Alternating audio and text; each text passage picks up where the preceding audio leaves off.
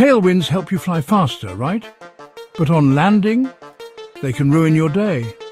When you're cruising at 38,000 feet, uh, a strong tailwind boosts your ground speed. Same fuel burn, but you get there faster. Perfect for schedules, perfect for savings. But land with a tailwind and, and things get dicey. Your airspeed stays the same, but your ground speed increases.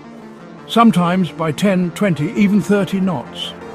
That means you hit the runway faster, and you need more distance to stop. That is why most airlines limit tailwind landings to just 10 knots or less. Go beyond that, and you are looking at longer rollouts, overheated brakes, and a much higher chance of a go-around, especially on short, wet or high-altitude runways. Many runway overruns? Tailwind is part of the problem, because when you are landing faster than you planned, there is less time to brake, less margin for error, and less runway under your wheels. A 10-knot tailwind can add 20% or more to your stopping distance.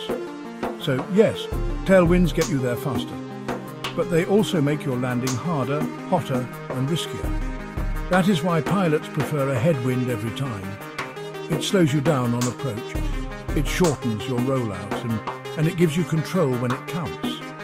Tailwind, fine for flying, terrible for landing.